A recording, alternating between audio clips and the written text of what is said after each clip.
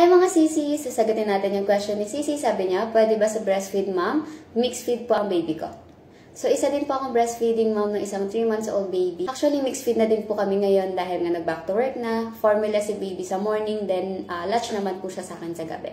So, dahil nga nagpapa-breastfeed pa rin tayo mga mami, hindi pa rin po tayo pwede mag-take ng BTY Glutastim kahit ako gustong gusto ko na din. So, sa ngayon po ang ginagawa ko is nire-repair ko muna yung mga varicose veins ko, yung mga stretch marks na naiwan sa skin ko.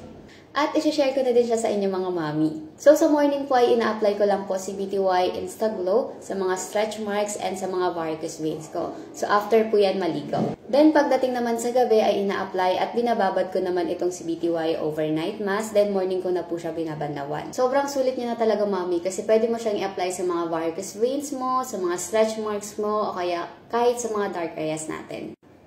So, I hope na nakatulong ako sa inyo. Kaya kung may mga question pa kayo, feel free po na mag-iwan ng comment sa video na to.